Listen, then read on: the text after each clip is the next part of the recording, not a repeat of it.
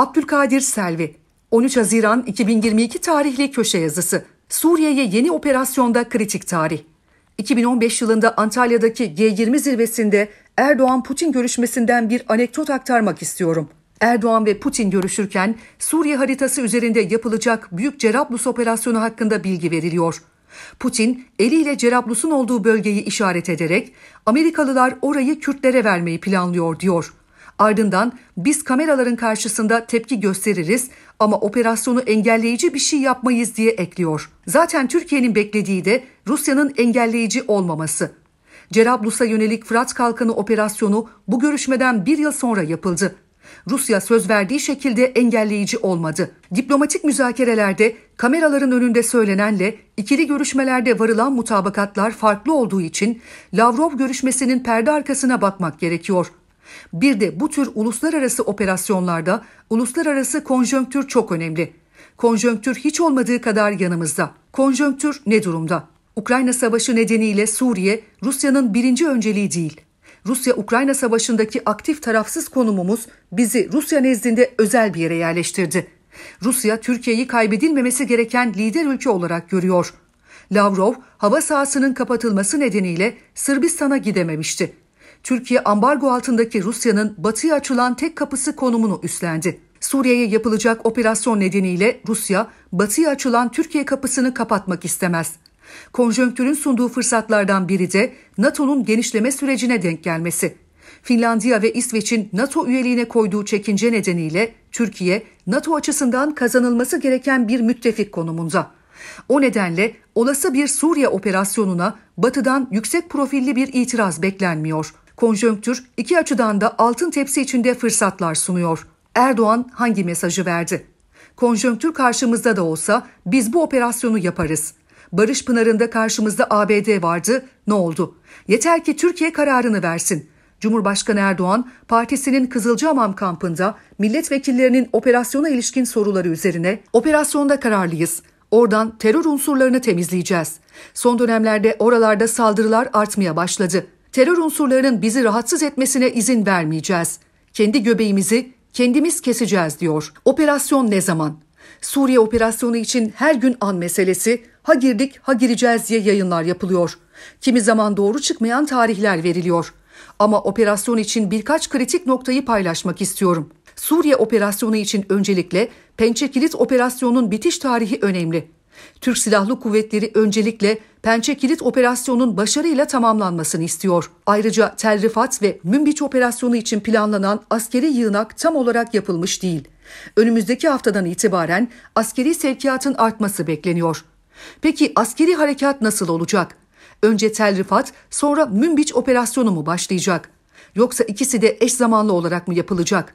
Tel Rifat ve Münbiç operasyonlarının eş zamanlı olarak başlayacağı ifade ediliyor. Ama öncelikle Pençe Kilit operasyonunun tamamlanmasını beklemek gerekiyor. Kurban Bayramı. Cumhurbaşkanı Erdoğan bir gece ansızın gelebiliriz dedi. O nedenle her an beklemeli miyiz? Türk Silahlı Kuvvetleri hazırlıklarını tamamlamadan harekatı başlatmaz. O nedenle Kurban Bayramı'na dikkat etmek gerekiyor. Kurban Bayramı'ndan sonra operasyon için artık günler değil, saatler sayılı diyebiliriz. Meydanların verdiği mesaj. Cumhurbaşkanı Erdoğan hafta sonu Van'daydı. Beş yol meydanını dolduran büyük ve canlı bir topluluğa hitap etti. Erdoğan yaz ayları boyunca illeri ziyaret edecek, bitingler düzenleyecek, kanaat önderleri ve gençlerle bir araya gelecek. Ha diyeceksiniz ki Erdoğan zaten meydanlarda. Gençlik buluşması için bulunduğu Adana'daydı.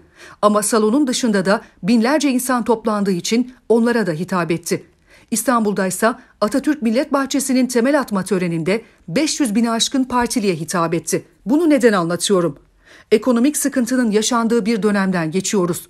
Fiyat artışları nedeniyle halkımız AK Parti iktidarları döneminde şimdiye kadar yaşamadığı bir hayat pahalılığıyla karşı karşıya. Bu tablo siyaseti etkilemiyor mu?